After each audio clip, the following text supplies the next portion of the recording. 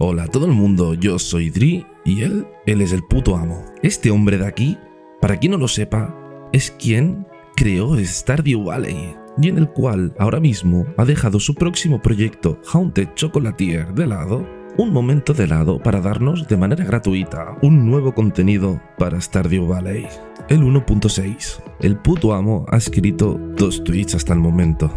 El primero es este, el tío suelta el petardazo de la noticia y en que facilitará el trabajo para los modders, cosa que entiendo ya que los mods alargan la vida de un juego.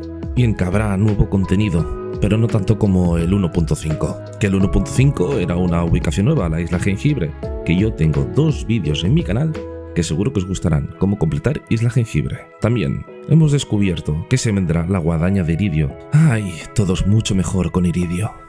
Después, el día 18 de julio de este 2023, suelta otro petardazo de tweet. Pone que próximamente en Stardew Valley 1.6 habrá una nueva fiesta, nuevos objetos, más diálogos, misterios y tres interrogantes. Unos putos interrogantes.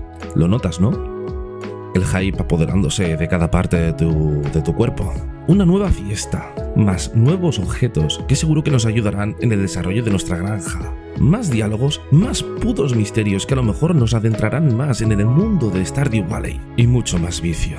¿Y a ti? ¿De qué te gustaría que fuera la nueva festividad? ¿Y qué crees que serán esos putos interrogantes? Dímelo en los comentarios y suscríbete para más contenido de Stardew Valley y juegos similares. Te queremos y chao.